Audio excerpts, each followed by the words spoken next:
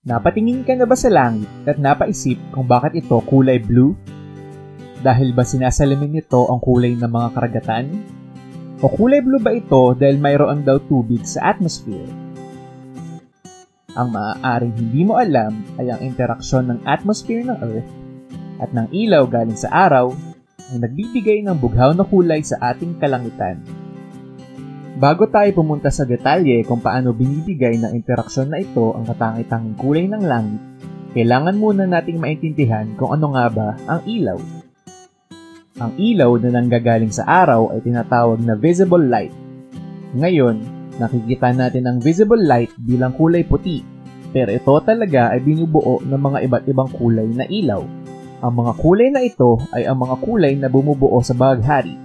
Red, orange, yellow, green, blue, at violet. Ang ilaw na galing sa araw ay naglalakbay sa space sa anyo ng wave o alon. Dahil dito, may katangian ng ilaw na tinatawag na wavelength o ang layo na tinatahak ng wave bago umulit ang hugis nito. Ang mga makukulay na ilaw na bumubuo sa visible light ay may sari-sariling katumbas na wavelength. Ang red light ang may pinakamahabang wavelength habang ang violet light naman ang may pinakamaiksi. Pagdating ng ilaw sa Earth ay dumadaan ito sa ating atmosphere. Ang atmosphere ng Earth ay gawa sa sobrang liliit na mga molecule, mas maliit pa sa sukat ng wavelength ng ilaw. Karamihan sa mga molecule na ito ay mga molecule ng nitrogen at oxygen. Ngayon, kung walang kahit anong hadlang na makakasulubong ang ilaw, ito ay naglalakbay lang sa tuwid na linya. Pero dahil makakasulubong ito ang mga molecule sa atmosphere, mag-iiba ang direksyon ng ilaw at kakalat.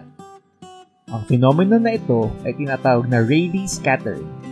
Dahil ang mga kulay na bumubuo sa visible light ay may iba't ibang wavelength, iba't iba rin ang paraan nila ng pag-scatter.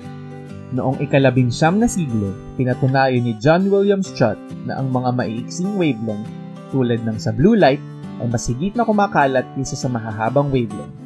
Ito ay dahil mas malapit ang sukat ng maiiksing wavelength sa mga maliliit na molecule. Ibig sabihin nito ay mataas ang posibilidad na tumama ang blue light sa mga molecule at mag-scatter. Pagtama nito sa mga molecule ay tatalbog-talbog ito sa iba't ibang direksyon at kakalat sa buong kalangitan hanggang umabot sa iyong mga mata. Samantala, ang mga kulay na may mas mahahabang wavelength ay nilalampasan lang ang mga molecule at diretsyong nakakarating sa iyong mga mata. Ito ang dahilan kung bakit kulay blue ang paningin natin sa langit at manilaw-nilaw naman ang kulay ng araw kapag tinitigan natin ito. Pero teka, hindi ba mas mahigit ang pag-scatter ng violet light dahil mas maiksi ang wavelength nito sa blue light? Bakit hindi kulay violet ang langit? Simple lang ang sagot.